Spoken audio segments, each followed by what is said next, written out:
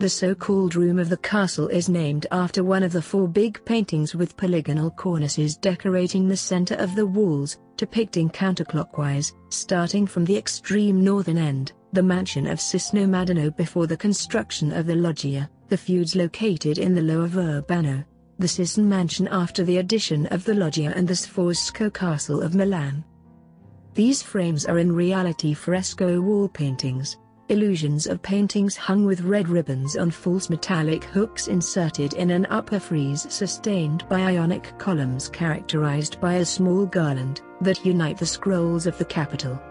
This beam is decorated with a succession of rich cornices containing the landscapes of woodlands and ruins, alternating with the pilasters adorned with festoons which in turn support a second frieze with floral decor.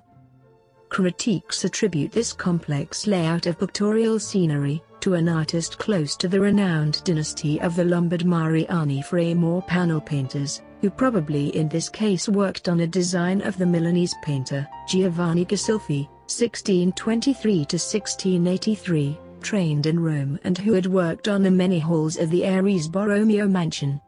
The work state of execution is suggested by the frames themselves that would set the Cesano work to around the middle of the 6th decade of the 17th century. The dual view of the noble home in Cesano. in fact, evidences two distinct construction phases of the architectonic complex.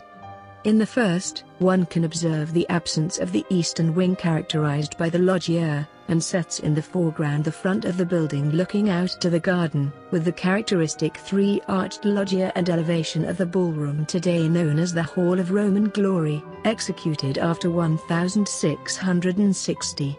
Also the Sforzesco Castle of Milan is shown with the features it had during the Spanish rule when the military noble building was surrounded by a 12-pointed fortress.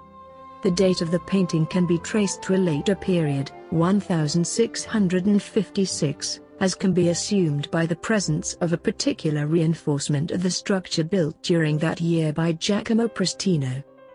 More outstanding instead, are the views of the Maggiore Lake and the Borromeo stronghold of Angera, recognizable due to the characteristic profile of the fort and village.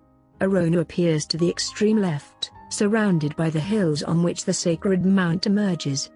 The entire basin is characterized by a certain perspective proximity, albeit the geographic reality here is evidently subjected to some iconographic representation demands. This fresco in fact, is strongly characterized by a precise layout of symbols that alludes to the fertility of the Borromeo noble house.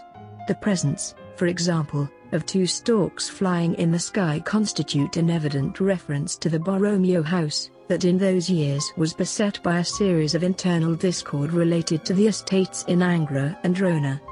In addition to this are the importance of Verbano and the Sforzesco castle which represent the Spanish crown, and shown here as a perennial ostentation of the noble proprietor's loyalty to the royal house of Spain.